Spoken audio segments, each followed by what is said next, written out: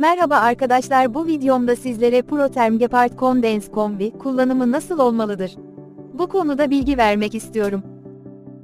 Öncelikle kombi ekranına herhangi bir arıza kodu gelmiş ise kombinizi resetlemeniz gerekir. Resetleme işlemini kombi paneli üzerinde yenileme şemasının bulunduğu butona bir defa basıp bırakmanızla gerçekleştirebilirsiniz. Arıza ekrandan gitmez ise bu işlemi birkaç kez denemeniz gerekebilir. Panel üzerinde, resimde işaretlenen tuşu kullanarak kombinizi yaz-kış konumuna alabilirsiniz. Tuşa bastıktan sonra ekranda kalorifer peteği şeması çıkmış ise kombinizi kış konumuna almış olursunuz. Ekranda sadece musluk şeması var ise kombinizi yaz konumuna almış olursunuz. Panel üzerinde, petek şemalı tuşu kullanarak kombinizin kalorifer sıcaklığını ayarlayabilirsiniz. Tuşa bastıktan sonra resimde işaretlenen çevirme tuşunu kullanarak sıcaklığı arttırıp azaltabilirsiniz.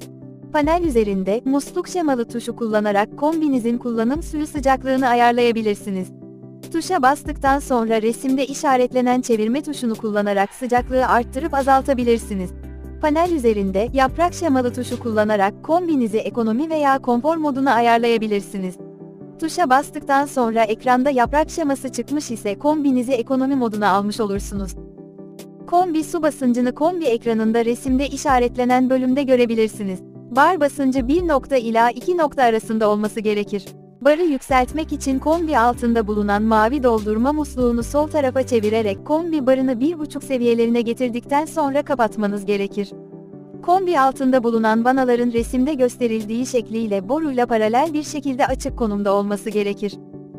Aynı şekilde petek vanalarının da sol tarafa doğru açık bir şekilde olması gerekir. Kapı dışında bulunan gaz sayacı üzerinde bulunan gaz vanasının resimdeki gibi boruyla paralel bir şekilde açık konumda olması gerekir. Aynı şekilde kombi yanında bulunan gaz vanasının da boruyla paralel bir şekilde açık konumda olması gerekir. Umarım video sizler için yararlı olmuştur.